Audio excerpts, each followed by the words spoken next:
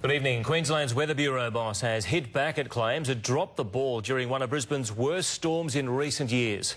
Many victims are furious with the lack of warning, but as they cleaned up, the Bureau's chief told Renee Henry that everyone had plenty of time to prepare. It was Queensland's most significant set of storms in years. Four supercells, intense rain and wind, and four the size of softballs.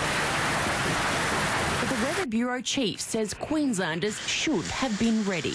The services that the Bureau gave through, uh, through, throughout the week, with the help of the media, were of a high quality. Yet no warning could have prevented this. Mick Bennett's Ipswich home was one of at least three to be struck by lightning. It was like a cannon in the backyard.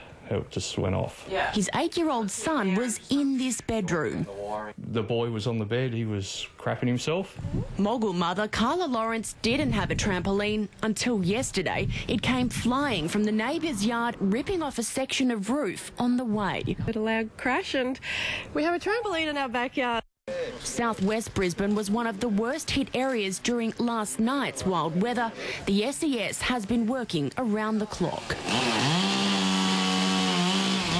Weekend served as a major wake up call that predictions of a severe storm season were never to be taken lightly.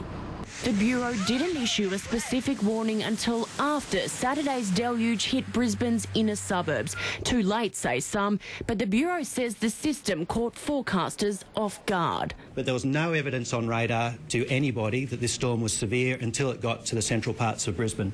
He says decisions are being reviewed but denies staffing is an issue. Some people just rely on old fashioned methods. And I mean, I'll look at the sky and see that it's black, so I know there's a storm coming.